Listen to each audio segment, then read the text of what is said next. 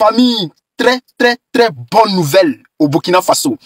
Très, très, très bonne nouvelle pour le Burkina Faso. Famille, les jaloux vont devenir tout minces. Les jaloux vont maigrir parce qu'il y a une très bonne nouvelle pour le Burkina Faso. Famille, je vais vous demander, s'il vous plaît, poussez les bleus, poussez les bleus, poussez les bleus. Prenez cette vidéo-là, envoyez ça à tous les Burkinabés, à tous les Ivoiriens, envoyez même aux moutons d'autres, les, les jaloux. Ils vont devenir tout minces, famille. Envoyez ça à tout le monde, partagez. Prenez la vidéo là, envoyez ça partout. Très bonne nouvelle. Très bonne nouvelle. On vous a tous dit ici que cela allait se faire. Lorsque Ibrahim Traoré a pris le pouvoir, je vous ai dit ici, pour ceux qui ne croyaient pas en Ibrahim Traoré, je vous ai dit calmez-vous. Ça va venir. Cette fois-ci, on a décidé de faire autrement. Allez doucement, mais sûrement. On allait y arriver. Je vous ai dit ici que Ibrahim Traoré allait y arriver. Les gens commencent à parler, oh, pourquoi il ne faut pas de coopération? On ne voit pas avec la Russie. On est, ils ont décidé, ils disent qu'ils vont se battre tout seuls. Non, je vous ai dit, calmez-vous. Calmez-vous. Qu'est-ce qui se passe, famille? Continuez à pousser les bleus. Une coopération militaire du Burkina Faso avec la Russie. Une coopération face face, c'est-à-dire face face, ce qui se passe entre le Mali et la Russie. Ce qui se passe entre le Mali et la Russie. Aujourd'hui, ça va se passer entre le Burkina Faso et la Russie. Qu'est-ce qui se passe? Des soucis. C'est parti, famille. On vous donne les papos. On vous casse les vrais papos. Défense. Le chef de l'État échange avec une délégation russe. C'est-à-dire Ibrahim Traoré a échangé avec le ministre de la Défense russe. Oui, Ibrahim Traoré était là. Lui-même, il était calé. Ça veut dire que c'était pas n'importe quoi. C'était du sérieux, famille. Ouagadougou, 16 septembre, avant-hier 2023. Le président de la transition, chef de l'État, le capitaine Ibrahim Traoré a reçu en audience ce samedi, dans la matinée, une délégation de la hiérarchie militaire russe. De la hiérarchie militaire russe. Cette audience fait suite aux échanges entamés lors de la participation du capitaine Traoré au deuxième sommet économique et humanitaire tenu à Saint-Pétersbourg en fin juillet. En fin juillet 2023. Avec la délégation russe, il a donc été question de l'opérationnalisation de certains engagements mutuellement pris par les deux États, notamment sur le plan militaire. Vous allez lire. Vous allez lire le. Les traites. Hmm.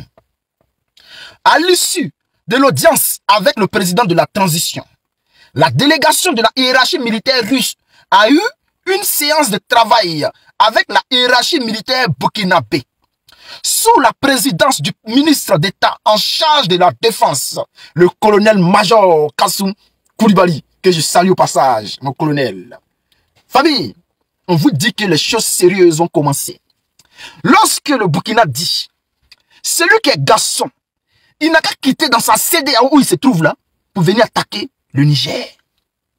Vous pensez qu'il parle comme ça dans le vide? Lorsque le Mali dit, celui qui est garçon n'a qu'à se lever pour aller attaquer le Niger, vous pensez que c'est dans le vide? Les enfants, les jeunes, les présidents, les jeunes présidents, ce n'est pas comme les vieux présidents qui ont les Alzheimer en Côte d'Ivoire, mais ces jeunes présidents-là sont prêts. Ce n'est pas de la rigolade, ils sont prêts. Et ils vous attendent. Oui, parce que cette fois-ci-là, ils ont un partenaire de taille. Un partenaire qui ne veut pas les trahir. Un partenaire qui ne vient pas leur donner de, bouts de bois, de bouts de bâton, des planches pour aller faire à l'entraînement militaire. Non. Un partenaire qui va coopérer avec ces nations-là, gagnant, gagnant. Tu me dis de quoi tu as besoin. Si je peux te donner, je te donne mon prix. Si tu arrives à... Je te donne. Tu me dis ce que tu veux, je te donne. N'importe quelle arme, que tu veux. Si tu as les moyens, je te donne. C'est pas comme chez nous, en Côte d'Ivoire. Même si on a les moyens, qu'on veut acheter une, une arme lourde pour défendre la Côte d'Ivoire, faudra passer d'abord saluer Macron. Lui demander sa permission. Et lui, Macron va répondre. Mais tu vas avoir... Pourquoi tu as besoin de cette arme? 43e Bima est déjà là-bas. On a déjà toutes ces armes-là là-bas pour te surveiller. Tu n'as pas besoin de ces armes-là. Non, laisse tomber. Ouattara, laisse tomber. Va à la maison. Et tu vas l'écouter. Et tu es là, tu sais que... Mais tu ne peux rien faire. Ce n'est pas ça. Avec Poupou, ce que tu veux là, il te donne. Tu veux te défendre? Tiens. Oui, et cette fois-ci là. Ils sont en train de faire un travail où la Russie même va s'engager dans la lutte contre le terreau. Dans la lutte contre le terreau dans le Sahel. Parce que c'est une coopération. Dans une prochaine vidéo, je vais vous démontrer et vous montrer ce qui se passe. Parce que maintenant là, les trois nations se sont mises, les trois nations sont mises ensemble. C'est-à-dire, il y a une coopération aujourd'hui. Ils ont créé, dans qu'on dit CDAO là, le Niger, le Burkina Faso, le Mali aussi ont créé leur CDAO aussi. Voilà, bon, eux, on n'appelle pas ça CDAO, hein. il y a un nom. Voilà, mais comme je n'ai pas encore le dossier sous la main, dans une autre vidéo, je vais prendre le dossier et je vais vous démontrer pourquoi la CDAO ne pourra plus attaquer le Niger. Parce que désormais, le Niger fait partie d'une organisation. Et cette organisation, il y a, dans cette organisation, il y a le Burkina Faso, il y a le Mali, il y a le Niger. Donc, ces trois nations-là, si tu attaques une nation, l'autre nation n'a même pas besoin d'autorisation pour venir défendre l'autre nation. C'est-à-dire, si aujourd'hui tu attaques le Burkina Faso, le Mali n'a pas besoin d'autorisation pour venir t'allumer, toi qui attaques le Burkina Faso. Donc, chers frères, à très bientôt dans la prochaine vidéo. N'oubliez pas une chose, continuez à pousser les bleus. C'est ça le panafricanisme. Si tu es panafricain, frère, pousse les bleus. Voilà, on ensemble.